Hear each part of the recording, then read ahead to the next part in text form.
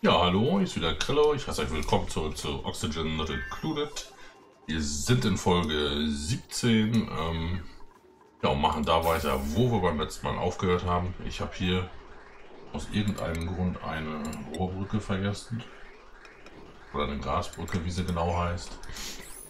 Ja, das wollen wir mal direkt nach. Ähm, ja, gleich zu Beginn die Bitte, wenn euch das Video gefällt, ähm, ihr könnt gerne auch jetzt schon den Daumen nach oben drücken oder ihr macht es am Ende des Videos. Ähm, wenn ihr mir, ja, wenn ihr irgendwelche Ideen habt, wenn ihr Tipps habt oder ähm, Wünsche, schreibt es mir gerne in die Kommentare. Ähm, ja, würde ich mich sehr darüber freuen, wenn es ein bisschen Feedback von euch gibt. Ihr macht das schon sehr gut, aber da geht immer noch ein bisschen mehr.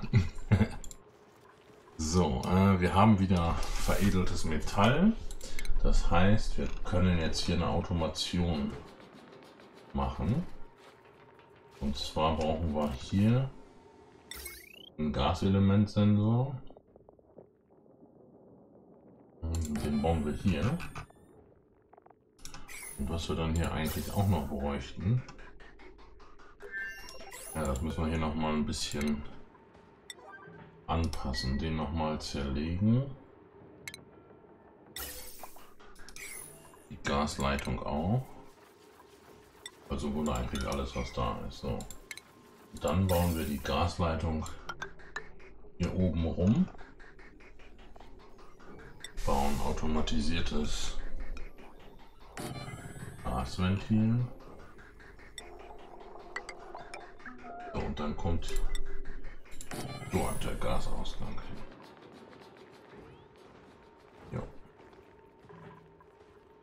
Glaube, das gute Ding braucht auch Strom. Ne, die brauchen beide Strom, okay. Sollen sie bekommen? Ja, so, ich wollte es schneller machen, nicht pausieren. So.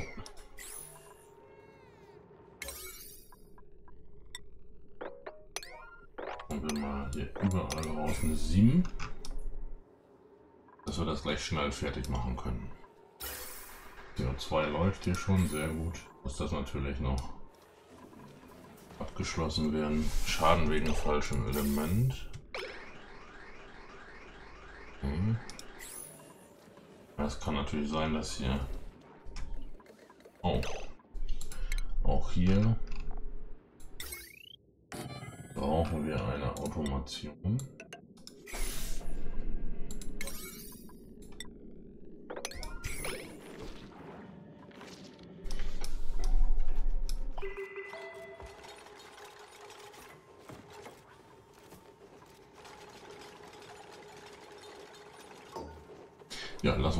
Bauen.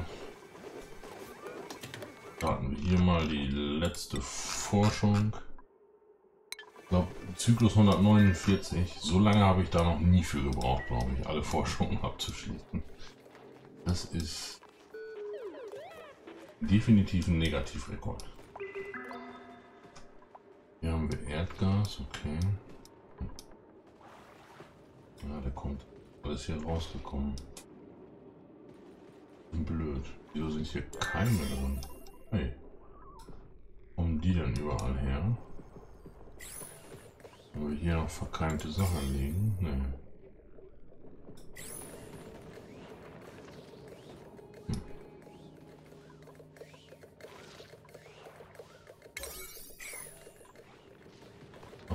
Da kommt jemand. Ist aber noch sehr langsam.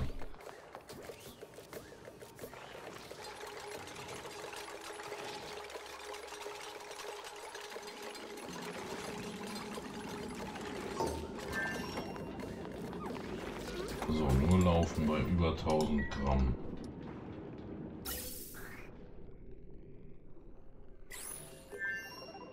Und jetzt kann man eigentlich die Tür in diese Richtung abschließen. Damit wir, wenn wir hier dann das CO2 mal raus haben, auch äh, nichts Neues wieder dazu kommt.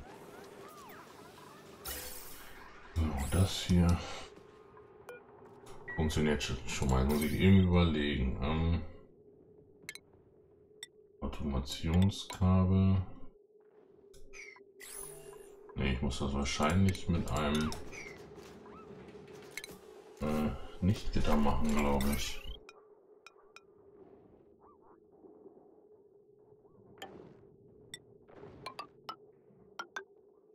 So. Diesen hier stellen wir auf Kohlendioxid.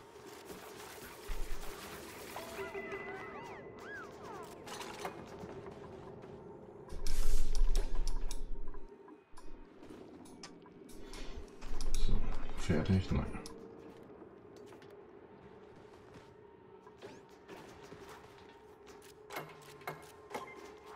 So, und solange er jetzt hier kein Kohlendioxid feststellt, hier Sauerstoff ist,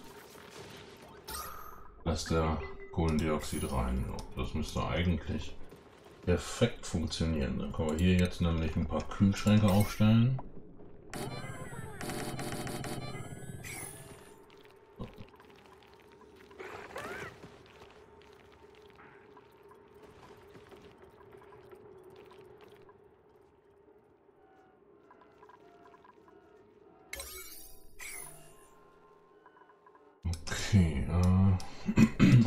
Sollte ich zu Beginn dieses Videos eben sagen, ich habe das schon am Mittwoch mit aufgezeichnet, zusammen mit Folge 16, also direkt im Anschluss, dass ich alles, was ihr zu dem Video geschrieben habt, hier leider nicht berücksichtigen kann. Also ähm, vierteilt mich bitte nicht, wenn ich Fehler äh, jetzt, die ich im ersten, im letzten Video schon gemacht habe, ihr mich darauf hingewiesen habt und ich die hier immer noch mache. Es war keine böse Absicht. So, hier haben wir noch mehr Eisenerz. Und oh, wir haben hier noch einen weiteren... Äh, ja. Störenfried wollte ich gerade sagen. Das kann ja auch was Nützliches sein. Müssen wir mal schauen. Aber was wir auf jeden Fall machen werden, ist jetzt die Leiter hier runter verlängern. Endlich.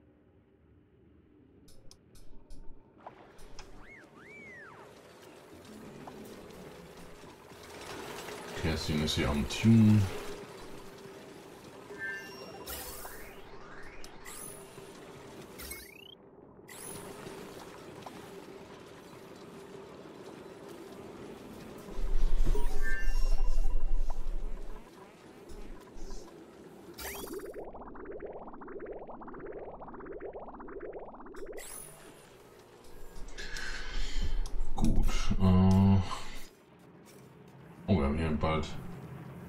Tatsächlich mal geschafft aufzufüllen. Temperaturtechnisch ist hier alles gut. Strom brauchen wir ja nicht, aber was wir hier einstellen können.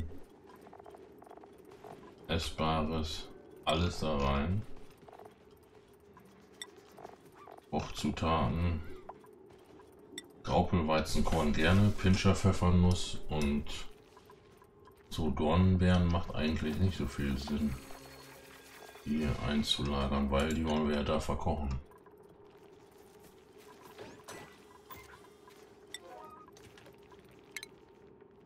So, Einstellung übertragen.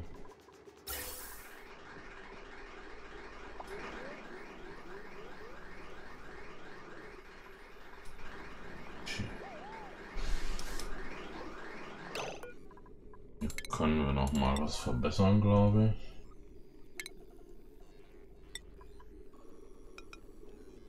dass das äh, CO2 vorrangig hier hingeht und nicht sich aufteilt.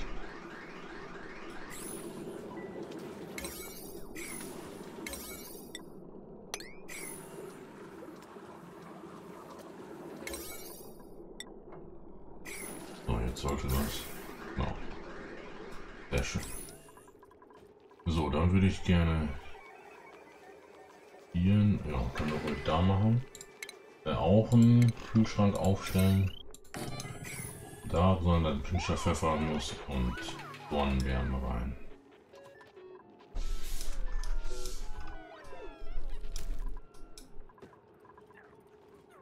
So, hier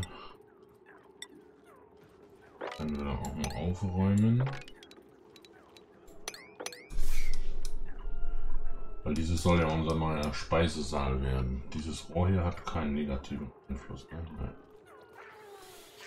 Okay. So, ähm, was machen wir denn hiermit?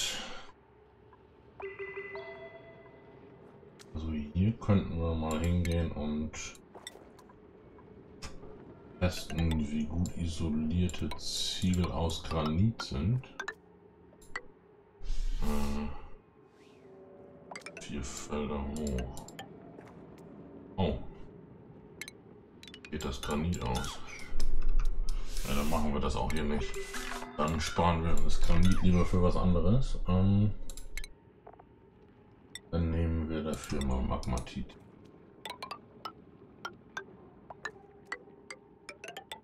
So, erstmal fangen wir dort mit an.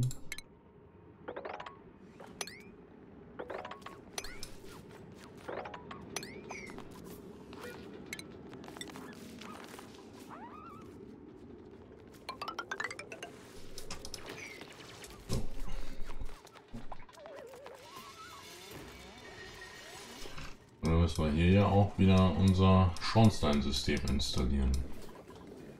Das kennen die, die die äh, Cosmic Upgrade Serie schon gesehen haben, die kennen das wahrscheinlich noch. Für alle anderen wird das dann neu sein.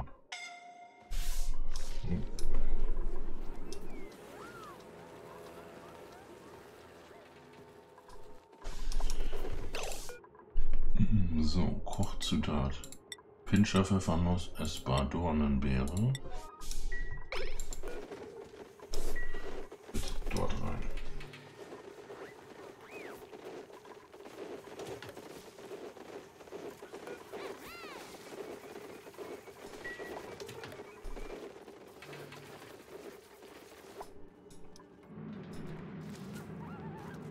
Ging schnell. Ist die Leiter hier? Nee.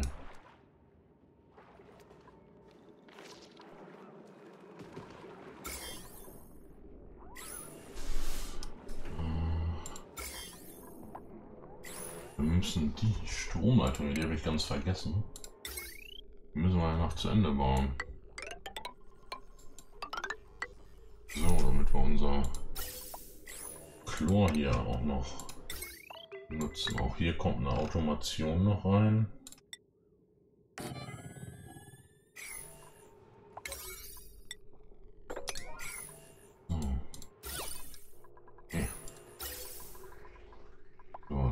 hier, hier.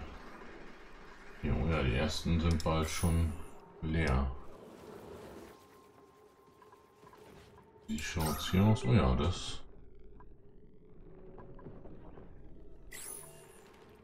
scheint doch schon mal zu funktionieren. Vielleicht hätte ich den Gaselementsensor hier oben hinbauen sollen. Ja, den bauen wir auch, glaube ich, nach oben. Damit wir sicher gehen können, dass die beiden Ebenen auch wirklich ähm, ja, im, im CO2 sind. Strom, Leiterkabel. Daran, dann kann man den Sensor zerlegen.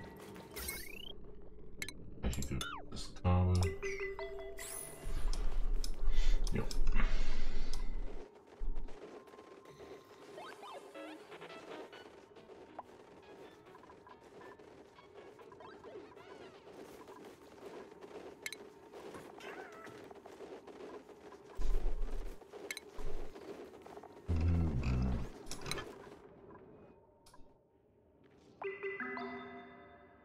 Hier haben wir schon mal eine ganze Ecke Öl, aber was... Ah, hier ist noch ein Slickster. Okay, ich wollte gerade schon sagen, ich sehe schon wieder nirgendwo Slickster.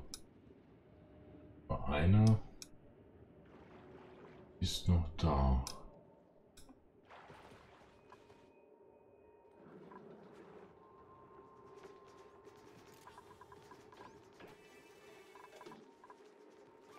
Nur laufen bei über 1000 Gramm.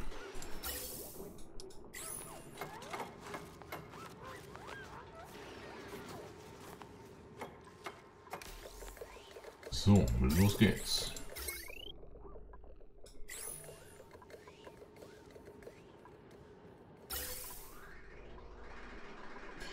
Gut, gut, gut. So, dann können wir uns hier an unserem Essenssaal machen. Wie groß sind wir denn jetzt hier überhaupt? Kein Raum. Naja, ein Raum ist es schon, aber ein sehr großer.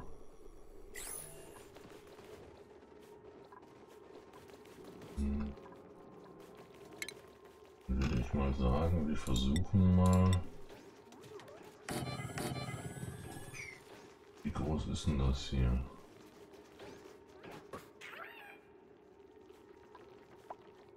Siebzehn, das ist nicht sehr.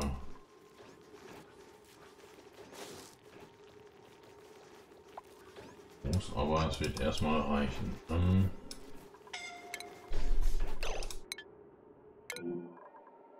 Lukas, was? Ach, Lukas war der mit dem schlechten Athletikwert, ne? Fertigkeiten. Warum will ich dann Athletik minus 1? Ja. Es geht aber in die richtige Richtung.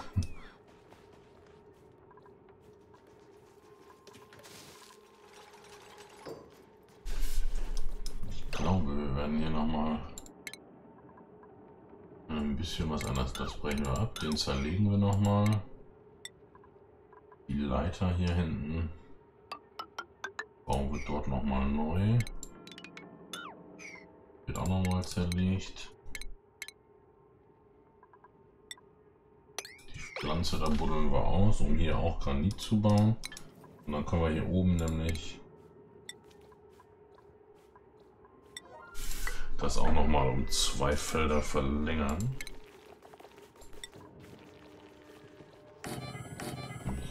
Hin. So, und dann äh, Kantinentisch 1, 2, 3. Hier, hier vorne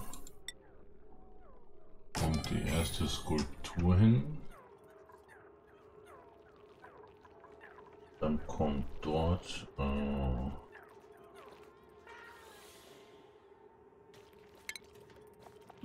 dann der da der Wasserkühler genau. Nahrungsmangel. Hm. Was ist denn hier los?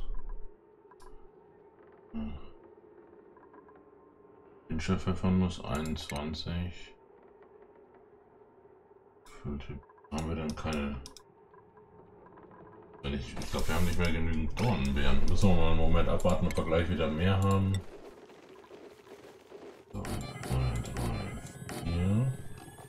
Bauen wir wieder eine Skulptur.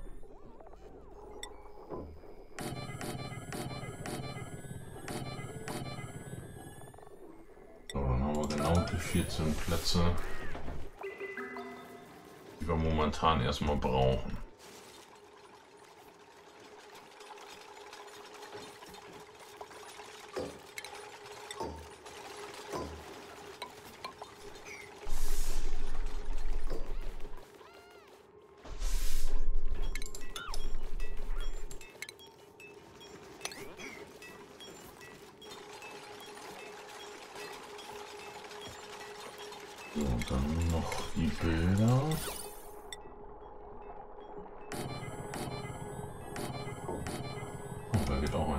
Schon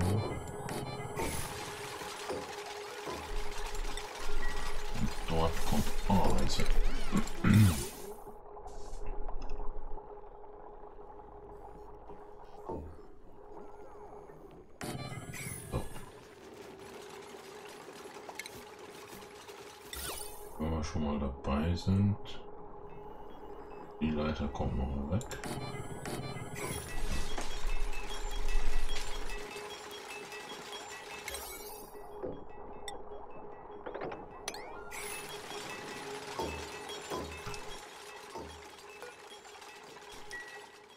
Warten auf Wasser. Gut, Wasser haben wir.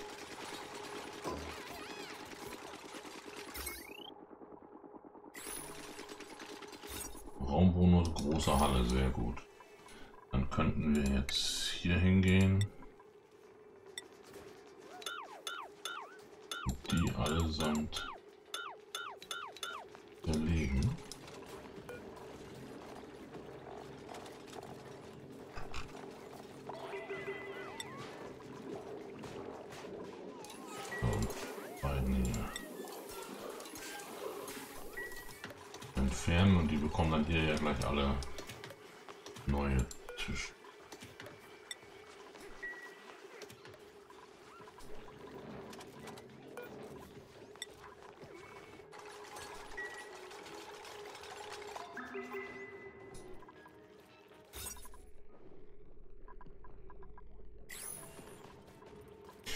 Ja, sehr schön, das funktioniert. Ähm So, wo machen wir weiter? Äh, das hier ist noch in Arbeit.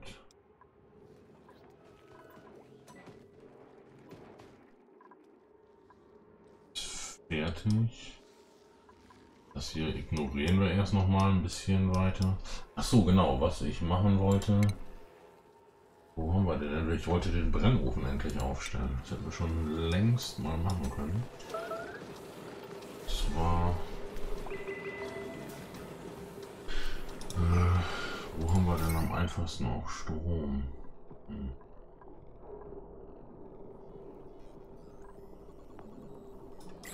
Ja, hier hin.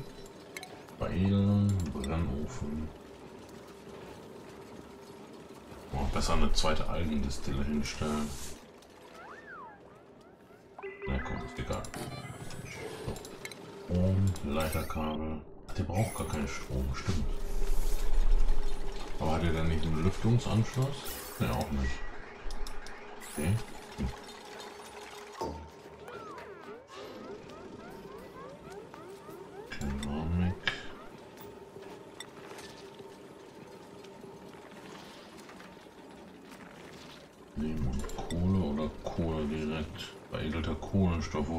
Wo gebraucht wird, den ja nochmal, ich glaube.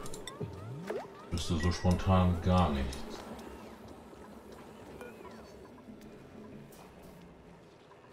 Und hier machen wir jetzt erstmal Stopp mit den drei Tonnen. Äh, ach das war der Steinzermaler für die Eierschale. Nee, da können wir es auch noch lassen, aber wir stellen das mal auf 5 runter. Wir sollen den Steinzermaler doch nochmal wieder bauen, um die um aus der Eierschale Kalk zu machen. Jetzt würde mich mal hier der Dekorwert interessieren. So. Für den Moment annehmbar. Das haben wir überall gut im Griff, aber wir haben auch die Berufe noch sehr niedrig, also ist das eigentlich kein Maßstab. Ist schon Erdöl vorkommen, das ist auch gut.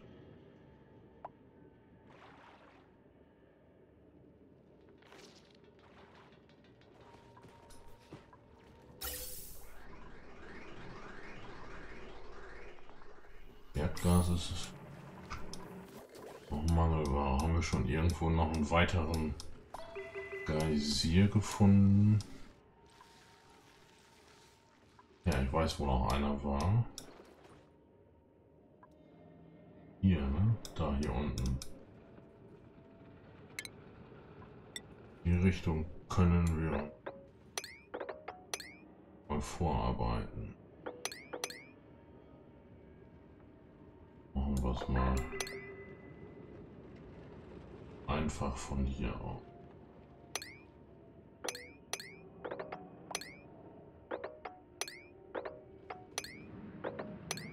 So.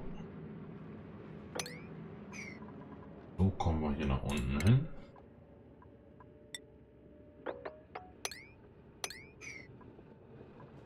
Und dann schauen wir mal, was wir da gleich finden.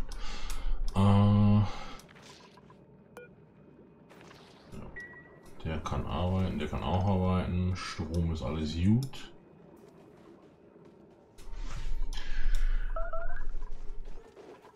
Nahrungsmangel. Ich glaube, wir bauen tatsächlich immer noch zu wenig an. Pitcherpfeffernüsse haben wir Reserven, aber wir haben zu wenig Dornenbeeren. Also macht es nicht Sinn, noch mehr Dornenbeeren anzubauen, sondern wir müssen uns um die Viehzucht kümmern. Ich glaube, dass wir dafür hier den Bereich nutzen. Wir werden mal Ups. hier anfangen, unsere Bereiche zu bauen. Das kann man freigraben.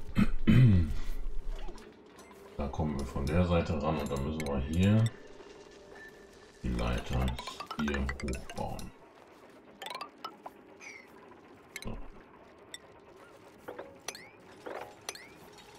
Das Graben, den zerlegen.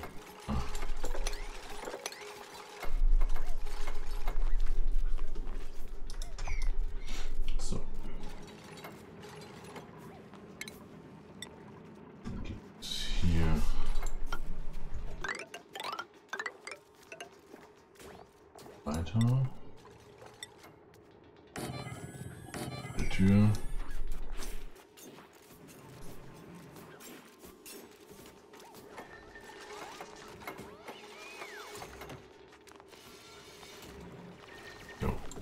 So, wen hatten wir denn für die Viehzucht vorgesehen? Und ja, eben auf meinen schlauen Zettel schnell schauen.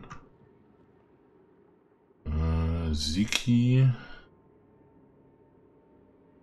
Anton und Lukas, glaube ich. Nach den so, Viehzüchter wäre. Siki hat dort ein Herzchen. Äh, Julinator. Und Cat Black, aber Cat Black muss erstmal noch den Landarbeiter lernen, damit sie da überhaupt hin kann.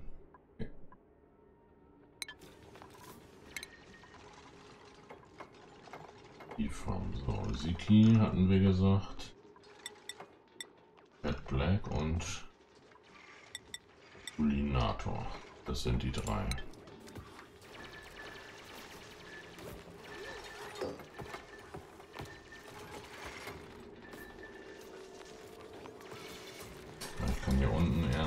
Obwohl wir könnten schon mal Legestation auch bauen hier. Und da hat der Tierfutterer, genau.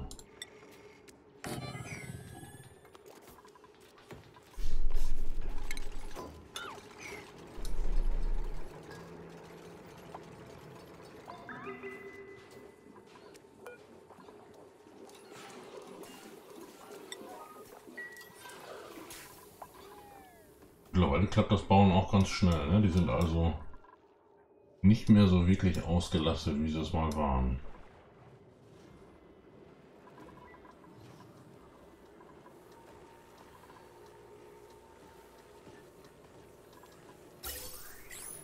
Macht dann eigentlich sehr gut. Sauerstoff ist vorbildlich. Temperatur ist teilweise kühl, aber eigentlich nirgendwo wirklich zu kalt. Die sind, wow, alle mit Sauerstoff gefüllt. Respekt. So, Tierfutterer, das hier wird der Bereich für Hatches. Und die sollen bitte essen Sandstein oder Magmatit. Sandstein. Hatchling kann er dasselbe essen. Sandstein. Ups. So, dann haben wir noch den Salbei-Hatch. Ich finde das immer sehr nervig, dass das jedes Mal nach oben zurückspringt. Hm. Achso, das geht gar nicht. Salbei-Hatch, was nehmen wir dem denn?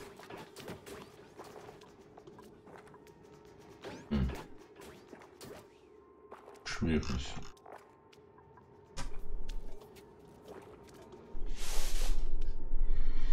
kriegen erstmal noch gar nichts. Hier sollen nur normale Hatches sein. So, okay, jetzt wieso... Ja, wenn noch kein Auftrag gegeben ist, kann es auch noch nicht gebaut werden. Und dann würde ich jetzt hier gerne hinlegen hingehen und die Leitern zerlegen und dann kommt dort rein unser Tieraussetzer.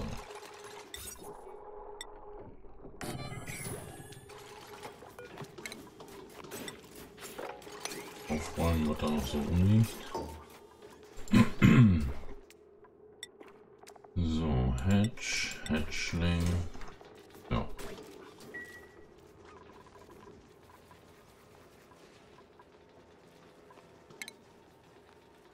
Müssen wir sie noch einfangen. Wo haben wir dann welche? Da ist eins. Salbei Hedge lassen wir mal sein im Moment. Oder ist ein Steinhedge. Hedge.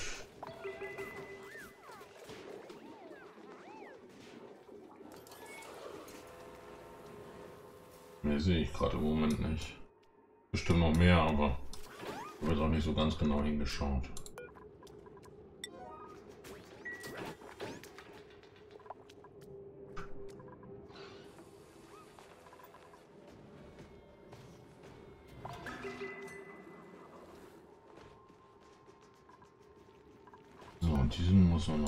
Der ist auf CO2.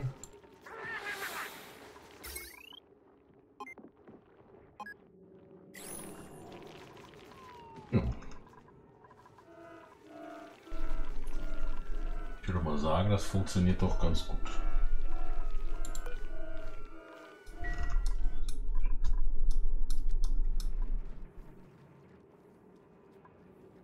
Kann man dann hier noch den zweiten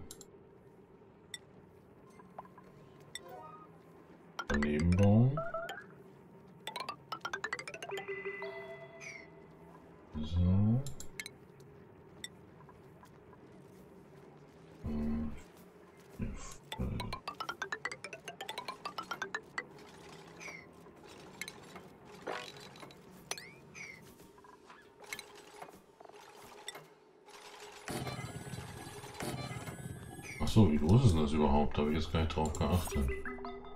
92 Felder. Ah, das wäre... Hm, dann ist das genau 96. Ah, das hatte ich auch, glaube ich, irgendwann mal abgezählt. Ja, ja, das habe ich schon mal abgezählt.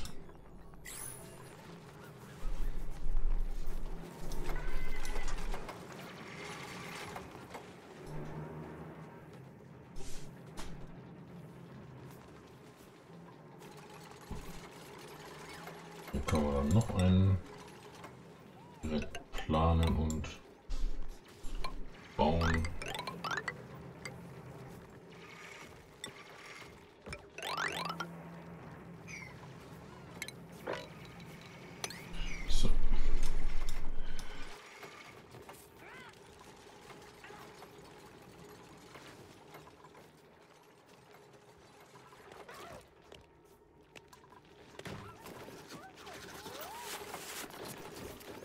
Können sie sich jetzt noch mal richtig austoben.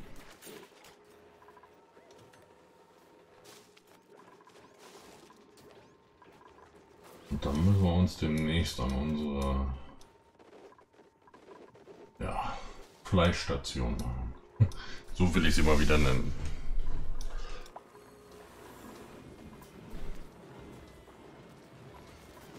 Ja, ich denke aber, das ist Thema fürs nächste Video. Ähm, ja, das denke ich, werden wir erst im nächsten Video machen. Ja, dann auf jeden Fall ähm, danke, dass ihr bis hierhin geschaut habt. Ähm, wir sehen uns beim nächsten Mal und ja, ich sage danke und bye bye.